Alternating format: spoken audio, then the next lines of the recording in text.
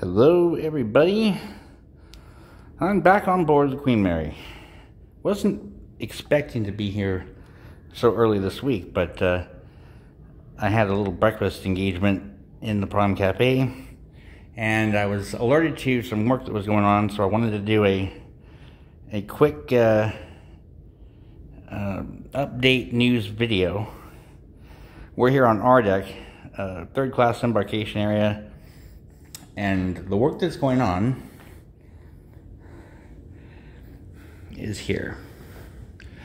This is the center portion of the third class dining room. Uh, was known as the Pacific Room for quite some time. This was a uh, art exhibit area for a while. And it appears as though they are working on the flooring. And uh, looks like they're doing work on lighting.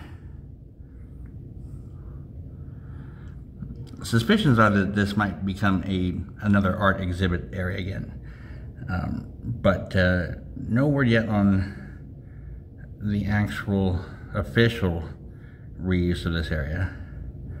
But I will hopefully find out here in the next couple days when I have my interviews with uh, Steve Caloca and John Thomas.